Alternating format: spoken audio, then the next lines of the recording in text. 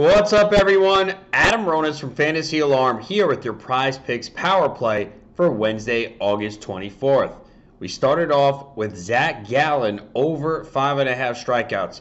He's been pitching extremely well lately, over in three straight starts for this prop and over in four of the last six. His last outing, he had 12 strikeouts in seven and a third innings against San Francisco. He's gone at least seven innings in three consecutive starts. He hasn't allowed an earned run in his last three starts.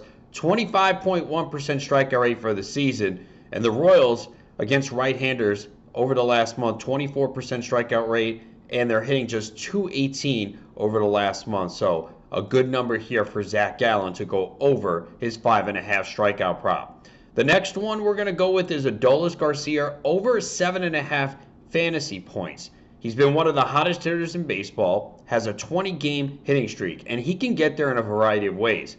As long as the hitting streak is, it's not a lot of multiple hit games, but a hit here, a double here, some stolen bases, a home run. So there's a lot of ways that he can get over this score. He has three stolen bases over his last six games, and it's a good spot here because he's in Coors Field against Jose Urena, who's been awful this year. He has a 4.71 ERA, but his xERA is over 5. He's got a 1.50 whip and allows a lot of contact, which is never a good recipe at Coors Field.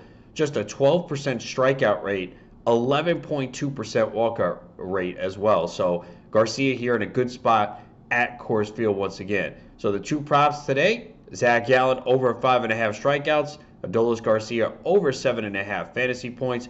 Make sure you go to fantasyalarm.com slash prize picks to get up to $100 match on your first deposit. So go there, take advantage of it, put in these plays, and go make that money tonight.